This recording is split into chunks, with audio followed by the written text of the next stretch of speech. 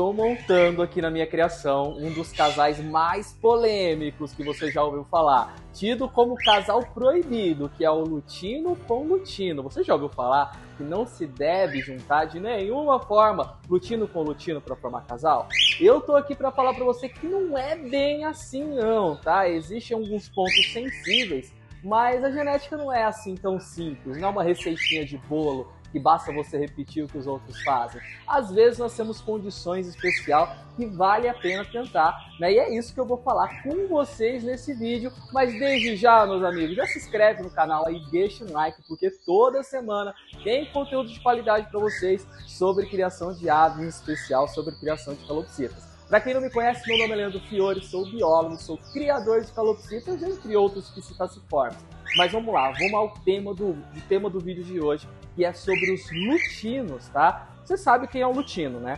Lutino é aquela ave tida como toda amarelinha, ou se for associado com cara branca, ele é todo branquinho, chamado muitas vezes de albino. A mutação Wino, ela causa uma peculiaridade, com certeza é a calopsita que mais chama a atenção, porque nessa mutação é inibido toda e qualquer síntese de melanina. A ave não vai produzir o pigmento que dá tonalidade cinza para as penas. Dessa forma, muitas vezes ela vai ficar com o corpo todo branquinho, onde devia ser penas cinzas. Se for associado, por exemplo, com pérola, pode ficar cheio de, de bolinhas amarelas que dá um tom mais de amarelo por todo o corpo. E associado ao cara branca, ela vai ficar toda branca. Tá? Mas essa mutação é polêmica. Por quê?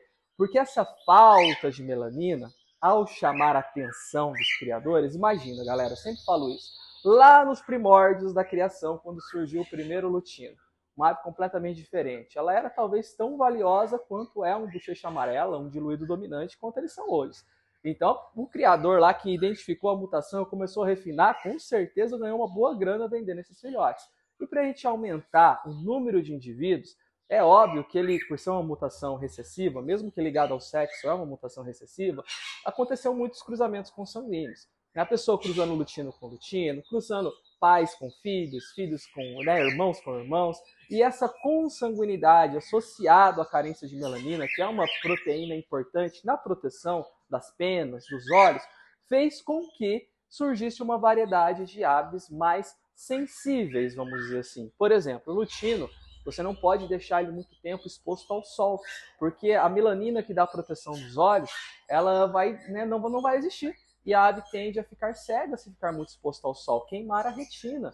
Né? Ou ainda tem casos aí, relatos de lutinos que também desenvolvem problema de surdez, né? E são tidas como aves mais sensíveis, mas isso não é devido ao gene hino necessariamente. Mas eu acredito que é devido a uma cruzamentos errados, vamos dizer assim. Mas quando eu falo cruzamento errado, não é só a ser lutino com lutino, mas é a ser entre indivíduos próximos, que aconteceu por muito tempo. Uma das provas né, dessa, desse problema é do, da falha da carequinha. A falha da carequinha está muito associada aos lutinos. E o que eu percebo é que a gente até hoje não entende muito bem como que é o tipo dessa herança da carequinha. A gente sabe que a maioria dos lutinos né, tem ou possui ali alguma genética próxima da carequinha. Ah, eu já vi casos, por exemplo, de um lutino que não tinha carequinha, acasalou com uma ave que era portadora de lutino e os filhos nasciam com essa com esse problema da carequinha. Então, provavelmente deve ter ali alguma interação gênica, talvez, estou levantando uma hipótese aqui, a carequinha seja um gene dominante no lutino. Isso faz com que seja difícil trabalhar com essa mutação quando você quer ter aves grandes, bonitas, saudáveis.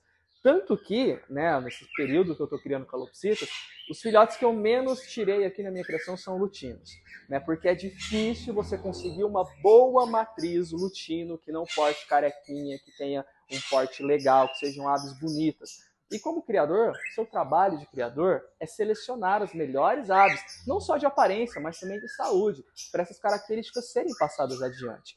Né, e com o tempo eu fui aí selecionando algumas aves, por exemplo, aqui desse lado aqui, ó, Tá no ninho agora, deixa eu trazer aqui para mostrar para vocês. Aqui eu tenho o Luke. O Luke é uma ave que eu selecionei, né, que está aqui na minha criação já tem uns dois anos. E eu quase não tirei filhotes dele. O Luke, ele é, ele é um pérola, portador de hino. Eu estava esperando essa fêmea aqui, que nasceu no plantel há um ano aproximadamente, que é uma fêmea lutino pérola, tá? E ela não tem carequinha nenhuma, zero carequinha. Então é uma ave excelente. Essa é a primeira temporada, já que ela atingiu um ano recentemente, que eu estou tentando tirar filhotes com eles. Outro casal que eu segurei desde filhote. Peguei ali um macho que era portador de lutino, que era filho do meu, do meu casal né, Snow e Cristal, que eu vou mostrar para vocês aqui. Ó, esse aqui é o Snow e a Cristal. São lutinos, ele é lutino cara branca, ela não é lutino, então todos os filhotes lutinos desse casal são fêmeas. O que acontece? Selecionei um macho desse casal, que porta hino e provavelmente um hino sem careca, já que o pai não tem careca. E selecionei uma fêmea com pouquíssima, pouquíssimo resquício de careca, que é uma filha do Romeu que nasceu com pouquinha carequinha. Selecionei os dois, segurei aqui por um ano aproximadamente.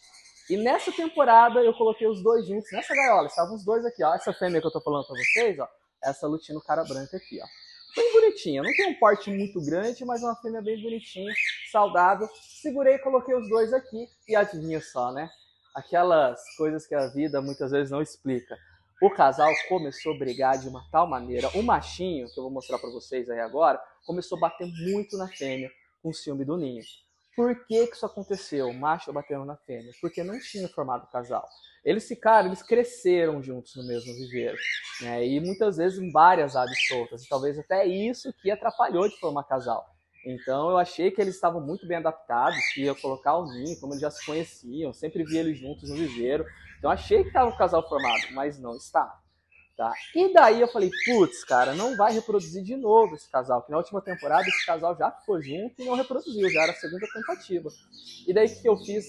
Pensei, eu tenho uma carta na manga, que é esse lutino cara amarela. Tá? Esse lutino cara amarela chegou para mim há uns seis meses aproximadamente. Quando eu vi a ave, eu já falei, ó, é diferenciado, porque tá vendo ali a cabecinha dele, ó? Nenhuma carequinha, como vocês podem ver, ele também é uma ave polêmica.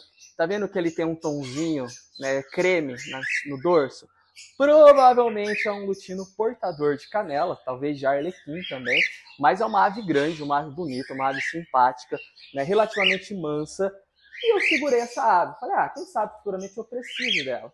E agora, já que o meu portador de hino não formou casal com essa feminha, esse macho que tá doido, inclusive ele ficou com o Aparecido, eles estavam, ele e o Aparecido estavam meio trocando carinhos. O Aparecido, gente, ó, ele tá lá naquele viveiro lá atrás com os filhotes. Por que, que ele tá lá com os filhotes? Porque também não sobrou fêmea para ele, lá que ele tem um viveiro de filhotes.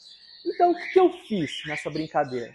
Vou testar esse casal aqui não estão formados ainda. Deixei eles aqui, ó, já faz três dias que eles estão juntos, não brigaram, né? O macho está cantando, já cantou para ela, já estou vendo que está rolando um clima, e eu vou arriscar e vou colocar o ninho. O ideal seria esperar pelo menos um mês para colocar o ninho. Só que como eu já comecei a temporada, ó, todas as outras gaiolas já estão com ninho, e eu não gosto de reproduzir aves fora da temporada. Porque daí eu separo os filhotes, trato tudo ao mesmo tempo, sabe? A organização fica bem melhor. Vou colocar o ninho. Quem sabe eles se acertem e já se reproduzem nessa temporada. Caso eles briguem, eu tiro o ninho. Mas eles vão ficar juntos. Vou tentar formar esse casal, até para discutir um pouquinho mais essa polêmica. Hino com hino pode, não pode? Galera, resumindo, quando que não pode hino com hino? Quando essas aves têm algum grau de parentesco. Quando essas aves são muito parecidas geneticamente. Mas, ó, olhando para as duas, o que eu tenho aqui, galera? Aqui eu tenho um lutino provavelmente canela e arlequim, ou pelo menos portador de canela e arlequim. Aqui eu tenho um lutino cara branca, tá? Eu sei que a origem dessas duas aves são completamente diferentes. Essa aqui nasceu no meu plantel e essa aqui uma pessoa, uh, acabei comprando de uma pessoa porque eu achei uma ave diferente, bonita, fiz uma oferta e comprei. Então, galera, não tem por que não tentar. Dá para tentar. Eu já vi criadores aí, até renomeados. Se eu não me engano, Felipe, do Amigo de Penas, já fez um casal de lutino e que tinha filhotes muito bonitos, então eu vou testar, tá? Eventualmente, pode acontecer aí uma incompatibilidade, nascer um filhote cego, por exemplo. Pode existir o risco? Pode, mas eu acho que é esse risco existe com qualquer casal que a gente forma. E quando surgem essas falhas, a gente tem que separar o casal, abrir a genética. Tá? Vou fazer o teste, vou observar os filhotes dele. E você é meu convidado para acompanhar essa saga também do meu casal indo com hino. Espero que nessa temporada dê certo se não der certo nessa temporada, na próxima tem que dar, tá? Vamos torcer para esse casal aí se ajeitar. Então, ó, no, na próxima temporada eu falei que eu tinha poucos hinos, né? Então, provavelmente aqui eu vou ter duas gaiolas tirando o hino cara amarela, né? E também o Snow, que já é um, um, casal que eu já tiro há mais tempo, também tirando o hino Então eu vou ter muito filhote indo aqui na criação, porque é bom, porque tem muita gente que procura a calopsita amarelinha, principalmente a amarelinha, tá? Ah, eu queria uma calopsita toda amarelinha, não sabe o nome da mutação, não sabe nada, mas é porque é uma calopsita muito difundida. E às vezes a pessoa já tem uma memória afetiva, porque viu uma calopsita amarelinha, porque tinha no passado. Tá? Então, para quem é criador, né, para quem quer ter como um hobby, para quem quer ter uma renda extra, vale a pena ter uns bons casais de lutino, tá? Agora, se você tem aquele. No começo da criação, né, quando eu comecei a adquirir, começou a nascer aves, eu fui eliminando como matrizes todas aquelas aves que eu percebia que não eram muito legais e principalmente aquelas que tinham falha da carequinha. E essa é a dica que eu dou para vocês aí que são criadores iniciantes que estão seguindo o canal beleza? E se você quer aprender muito mais sobre genética, sobre manejo, quer ter uma via direta para trocar ideia comigo, para eu te ajudar na sua criação, vem fazer o meu curso Mestres da Criação, que está sensacional, tá? Em outubro abriu uma turma e ainda tem vagas, mas sempre tem turma nova abrindo. Então se a gente não tiver mais em outubro, não tem problema, vem falar comigo. E se o curso estiver de pé ainda, você é meu convidado para participar dele.